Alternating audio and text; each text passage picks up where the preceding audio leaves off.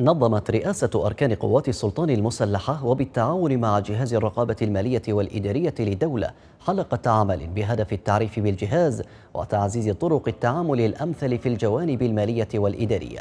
وناقشت الحلقة عددا من أوراق العمل هدفت إلى التعريف بدور جهاز الرقابة المالية والإدارية للدولة بالبرامج التي ينفذها القائمون على الجهاز ومن مختلف التخصصات في إطار تعزيز ورفع مستوى الوعي الرقابي لدى المختصين في الجوانب المالية والإدارية في مختلف الجهات الحكومية في الدولة.